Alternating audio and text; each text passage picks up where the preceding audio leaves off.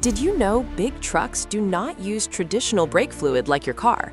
Imagine a massive semi-truck barreling down the highway, weighing tons.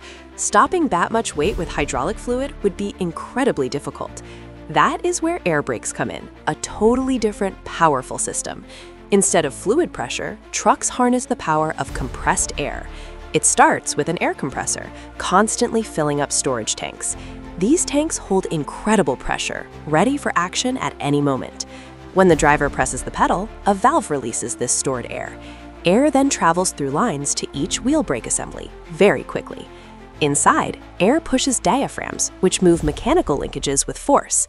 These linkages then press brake shoes against the drum or disc. This creates immense friction, bringing even the heaviest loads to a safe stop. Air brakes are super reliable, offer superior stopping power and safety. They are a fundamental engineering marvel, ensuring our highways are safe. So like this video, share your thoughts and comments, and subscribe for more amazing content.